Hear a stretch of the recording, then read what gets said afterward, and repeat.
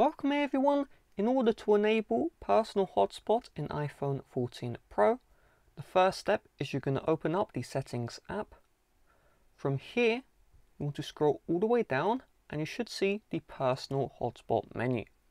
If you don't see this option right here, then you're going to tap on mobile data and from here you should see personal hotspot. If you still don't see this option, your carrier has disabled personal hotspots in your cellular plan.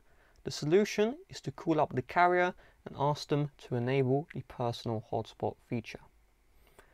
Once we have this option, we're going to select personal hotspot and now we're in the hotspot menu. So first of all, if you turn on allow others to join, this will uh, turn on the hotspot itself. Keep in mind, new devices cannot connect to your personal hotspot if you leave this page, okay? So if I go out of personal hotspot, if I wanted a device to connect to the hotspot, they will not see the hotspot. However, if a device is already connected, you can leave the personal hotspot menu and the device will stay connected. On top of this, we have the Wi-Fi password. If you go into here, this will allow you to change the password for your personal hotspot. You also have family sharing. So when this feature is on, the family members will be able to see your hotspot if they're in view right here under the personal hotspot section. If you have asked for approval on, when they try and connect, you will need to approve the connection. If you tap into here, you have automatic, and with automatic, they'll be automatically able to connect without asking for any approval or without entering the password.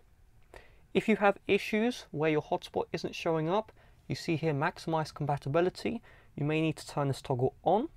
This toggle will help solve the issue where your hotspot isn't showing up in another device's settings.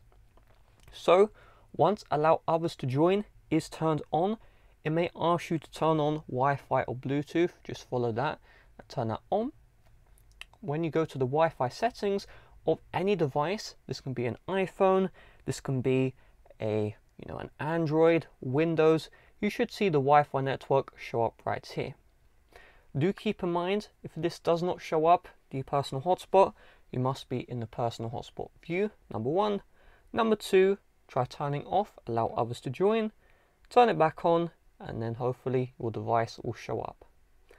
Once it shows up, we're just going to select the device. In my case, because I'm on the same iCloud account, I'm not asked to enter in my app, uh, my Wi-Fi password.